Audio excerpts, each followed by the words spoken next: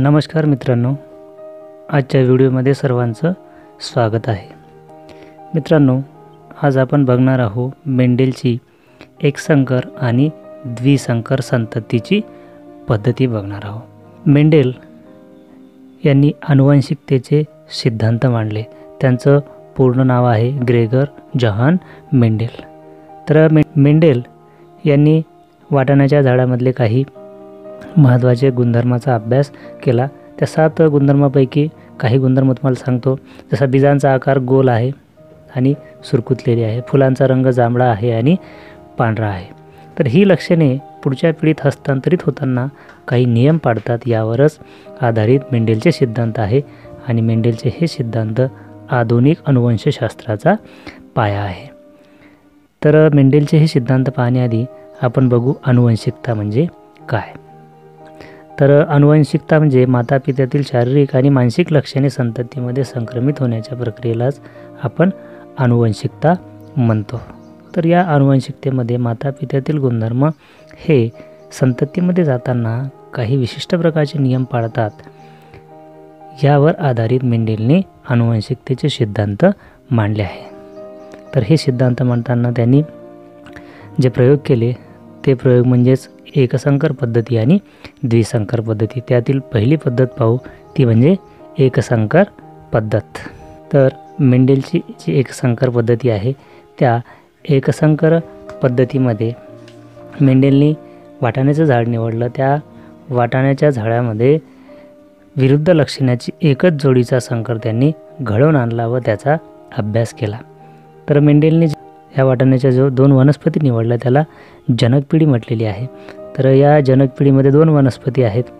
त्यांना जर बाहेरून जर बघितलं तर त्या वनस्पतीमध्ये लाल फुले येणारी वनस्पती आणि पांढरी फुले येणारी वनस्पती आपल्याला पाहायला मिळते. या दोन वनस्पतींचा त्यांनी संकर घडवून आणला. या वनस्पतींच्या जनुकांचा जर विचार केला तर लाल फुले येणारी जी वनस्पती आहे त्यांची जनुके कॅपिटल आर आणि कॅपिटल आर. नेहमी जनुके हे जोडीने लिहितात. तर पांढरी फुले येणारी वनस्पती त्यांचे जनुक आहे स्मॉल आर स्मॉल आर या जनुकापासून जर युग्मके वेगळी केली तर आपल्याला लाल फुलातील युग्मक आहे तो म्हणजे R capital R capital R. पांढरी फुलं आहे त्यांची युग्मके आहे स्मॉल आर आणि स्मॉल आर तर या युग्मकाचा जेव्हा संकर घडवून आणतात त्यापासून जे नवीन वनस्पती तयार होते त्याला पहिली संतानीय पिढी किंवा पहिली जनुकीय पिढी असे म्हणतात. तर आपल्याला समोर पाहायला मिळत आहे. कॅपिटल आर याचा संकर जर स्मॉल आर सी घडवून आणला तर आपल्याला दिसत आहे जी वनस्पती तयार झाली त्याच्यामधले जे जनुक आहे ती म्हणजे कॅपिटल आर आणि स्मॉल आर. तर पहिल्या संतानीय पिढीमध्ये आपल्याला दोन वनस्पती पाहायला मिळत आहे. त्या दोन्ही वनस्पती या लाल फुले देणाऱ्या वनस्पती आहे. या ठिकाणी हे जे लाल फुलासाठी कारणीभूत असलेला जो गुणधर्म आहे तो प्रभावी आहे जो पांढऱ्या फुला येणाऱ्या वनस्पतीच्या गुणधर्माला अप्रभावी करत आहे. म्हणजेच पांढरी फुलं येणारी वनस्पतीचे गुणधर्म दिसत नाही. पण अनुवंशिकतेमध्ये असं म्हटलेलं आहे की माता पित्याकडून अर्धे अर्धे गुणधर्म संततीमध्ये येतात. मग मेंडेलला हा प्रश्न पडला की हे असं कसं शक्य झालं आहे की अर्धे अर्धे गुणधर्म यायला पाहिजे पण सगळी फुलं कशी दिसत आहे? लाल दिसत आहे. म्हणून मेंडेलनी या पहिल्या जनुकीय पिढी किंवा पहिल्या संतानीय पिढीतील फुलांचं स्वफलन केलं.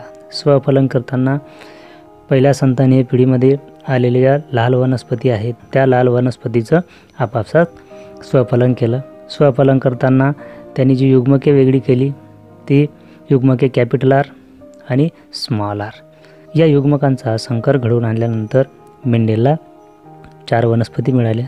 त्या चार वनस्पतीपैकी पहिली वनस्पती आहे ती म्हणजे लाल फुले देणारी. दुसरी वनस्पती तीही लाल फुले देणारी तिसरी वनस्पती आहे ती लाल फुले देणारी आणि चौथी वनस्पती आहे ती पांढरी फुले देणारी. बाहेरून जर बघितलं तर आपल्याला तीन लाल फुले देणारी आणि एक पांढरी फुले देणारी वनस्पती दिसत आहे. पण त्यांच्या जनुकांचा विचार केला तर त्या वनस्पती विविध प्रकारच्या आपल्याला दिसत आहे. तर त्यांचं गुणोत्तर काढायच्या पहिले आपण बघू त्या वनस्पतीचे युग्मके.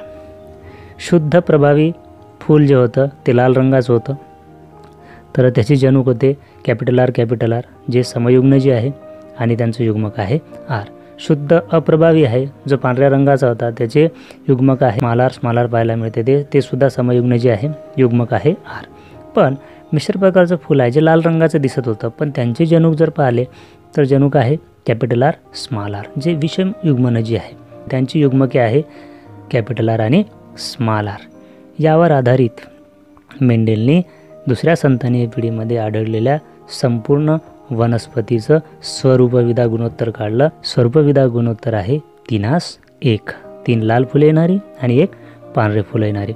आणि याच पिढीतील जनुकविदा गुणोत्तर बघितला तर तो आपल्याला दिसेल एकास दोन दोनास एक.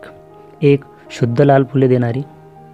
दुसरे लाल फुले देणारी पण मिश्र प्रकारची आणि तिसरं आहे एक वनस्पती ही पांढरे फूल देणारी आहे. अशा प्रकारे मेंडेलनी एकसंकर पद्धत घडवून आणली. त्यांना असं दिसून आलं की पहिल्या पिढीमध्ये काही गुणधर्म दिसत नाही पण ते दुसऱ्या पिढीमध्ये गुणधर्म दिसत असतात. यानंतर बघू मेंडेलची द्विसंकर संतती पद्धती. या द्विसंकर पद्धतीमध्ये मेंडेलनी द्विसंकरामध्ये एकाच वेळी दोन विरोधी लक्षणांच्या दोन जोड्यांचं संकर करून त्यांचा अभ्यास केला ज्याला आपण द्विसंकर म्हणतो. तर या द्विसंकरमध्ये जी जनक पिढी आहे त्याचं जर स्वरूप बघितला तर आपल्याला वनस्पतीमध्ये दोन वेगळ्या गुणधर्माची जोडी पाहायला मिळत आहे. पहिला आहे पिवळ्या रंगाची आणि गोल आकाराची बिया देणारी वनस्पती. दुसरी आहे हिरव्या रंगाची सुरकुतलेल्या बिया असलेली वनस्पती.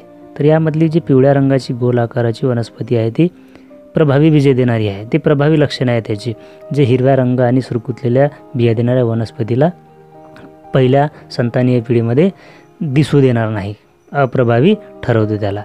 कारण हिरव्या रंगाची सुरकुतलेली जे बीजे देणारी वनस्पती आहे ते अप्रभावी आहे. यांचं जर जनुक बघितला आहे तर पिवळ्या रंगाची गोल आकाराची वनस्पती आहे त्यांचे जनुक आहे capital R capital R capital Y capital Y. हिरव्या रंगाची सुरकुतलेली बिया देणारी वनस्पती आहे त्याचे जनुक आहे small R small R small Y small Y. यांचे जर आपण युग्मके वेगळी काढली तर आपल्याला चार प्रकारचे युग्मक दिसेल. Capital R capital Y capital R capital Y small R small Y small R small Y. या युग्मकाचा जर संकर घडवला तर आपल्याला मिळते ती पहिली संतानीय पिढी. या पहिल्या संतानीय पिढीमध्ये ज्या वनस्पती दिसल्या मेंडेलला त्या सर्व वनस्पती ह्या एकाच रंगाच्या दिसल्या. त्या म्हणजे होत्या पिवळ्या रंगाच्या आणि गोलबिया देणाऱ्या. या संतानीय पिढी एकमधल्या ज्या वनस्पती आहेत त्यांचं त्यांनी पुन्हा स्वफलन घडवून आणलं. स्वफलन घडवताना त्यांनी पिवळ्या रंगाच्या गोलबिया असणाऱ्या संतानीय पिढी एकमधल्या वनस्पतीचा संकर घडवून आणला. संतानीय पिढी एकमधल्या वनस्पतीचं संकर घडवताना आपण त्यांची जर युग्मके काढली तर आपल्याला चार चार प्रकारची युग्मके दिसत आहे. Capital R capital Y capital R small Y small R capital Y small R small Y. दुसऱ्या बाजूलासुद्धा आपल्याला सारख्याच प्रकारची युग्मके दिसत आहे. या युग्मकाचा संकर जर घडवून आणला तर एकूण सोळा प्रकारच्या वनस्पती पाहायला मिळत आहे. तर या सोळा वनस्पतीवरून त्यांनी स्वरूपविदा गुणोत्तर जे काढलं त्यामध्ये स्वरूपविदा गुणोत्तर आढळून आलं नवास तीन तीनास तीन तीनास एक. यामध्ये नऊ गोल आणि पिवळ्या बिया देणारी वनस्पती तीन गोल आणि हिरव्या बिया देणारी वनस्पती तीन सुरकुतलेल्या आणि पिवळ्या बिया देणारी वनस्पती आणि एक सुरकुतलेली आणि हिरवी बी देणारी वनस्पती. यांचं जर जनुकविदा गुणोत्तर बघितलं तर ते थोडंसं वेगळं दिसेल. तर जनुकविदा गुणोत्तरामध्ये आपल्याला दिसेल एकास एक एकास दोन दोनास दोन दोनास चार चारास दोन दोनास दोन दोनास एक एकास एक. तर हे एक दोन तीन चार जे काही दिसत आहे आपल्याला जनुकविधा गुणोत्तरे त्यामध्ये वनस्पतींचे जनुकही कसे दिसतात ते बघू. पहिला आहे capital R capital R capital Y capital Y. गोल आणि पिवळ्या बिया देणारी वनस्पती. दुसरी वनस्पती आहे तीसुद्धा एक आहे जी capital R capital R small Y small Y. ती सुद्धा गोल आणि हिरव्या बिया देणारी वनस्पती आहे. तिसरी आहे गोल आणि पिवळ्या बिया देणाऱ्या दोन वनस्पती.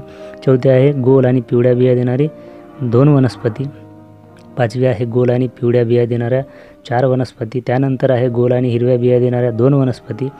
त्यानंतर आहे सुरकुतलेल्या आणि पिवळ्या बिया देणाऱ्या दोन वनस्पती. त्यानंतर आहे सुरकुतलेल्या आणि पिवळ्या बिया देणारी एक वनस्पती. शेवटची आहे सुरकुतलेल्या आणि हिरव्या बिया देणारी एक वनस्पती. तर अशा पद्धतीने मेंडेलनी एकसंकर पद्धत आणि द्विसंकर पद्धत घडवून आणली. आणि हे समजावून सांगितलं आहे की माता पित्यातील गुणधर्म हे अर्धे अर्धे गुणधर्म. माताकडून अर्धे आणि पित्याकडून अर्धे गुणधर्म संततीमध्ये येतात. पण ते पहिल्या पिढीमध्ये सं संपूर्ण गुणधर्म दिसतातच असे नाही पण दुसऱ्या पिढीमध्ये ते दिसतात.